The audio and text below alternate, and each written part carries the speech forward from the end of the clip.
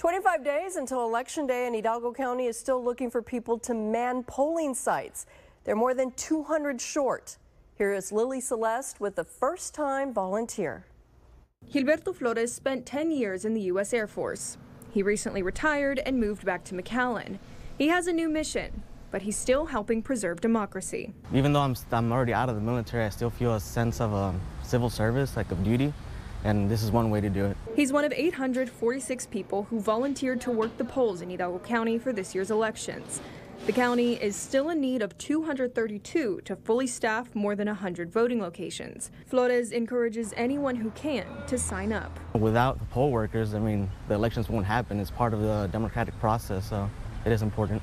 And even if you can't work the polls, he hopes you'll get to them to cast your ballot. I wasn't born here in the United States, so I didn't have the opportunity to vote when I was like younger. But now that I am, you know, uh, a lot of people take it for granted, but I, mean, I certainly don't.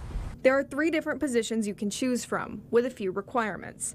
To find out how to sign up, visit krgv.com and look for this story. In McAllen, Lily Celeste, Channel 5 News.